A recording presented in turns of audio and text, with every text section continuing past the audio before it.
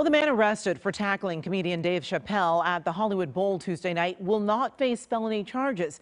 Instead, the 23 year old is facing a possible misdemeanor case. It was a bold tackle on stage Tuesday night at the Hollywood Bowl. Comedian Dave Chappelle knocked to the ground. Police arrested 23 year old Isaiah Lee, but now we're learning that suspect who rushed the stage will not be facing assault with a deadly weapon or any felony charges. Investigators say he had a replica gun with a retractable knife blade attached. I think it was a really risky move by the DA's office to not file these felony charges. We spoke with defense attorney Alexandra Kazarian by Zoom. I think the determination is whether he actually brandished a weapon, had a weapon in his hand, and tried to use it.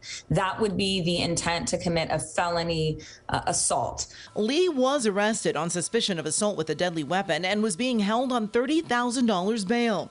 Now, the Los Angeles County District Attorney's Office has referred the case to the Los Angeles City Attorney's Office for misdemeanor filing consideration, saying after reviewing the evidence, prosecutors determined that while criminal criminal conduct occurred, the evidence as presented did not constitute felony conduct. The district attorney's office does not prosecute misdemeanor crimes within the city of Los Angeles. Think it's the wrong decision. I think in this case, he had a weapon that he concealed through multiple layers of security.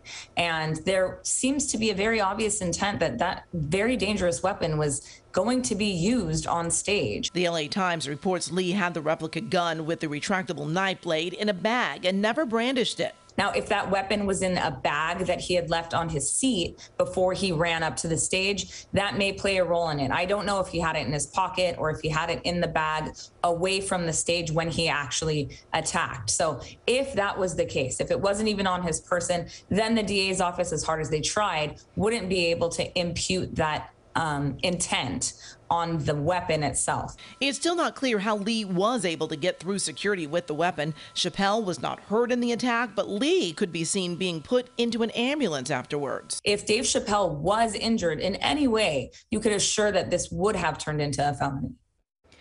Kazarian says in the end, Lee isn't likely to face any jail time for the attack on Chappelle if he blames mental health or substance abuse and would instead get treatment.